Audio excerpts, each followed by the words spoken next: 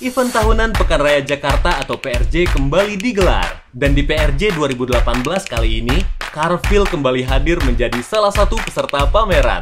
Carville telah turut berpartisipasi di PRJ selama hampir 20 tahun. Carville adalah brand ternama yang dikenal dengan produk sandal yang berkualitas dan terpercaya.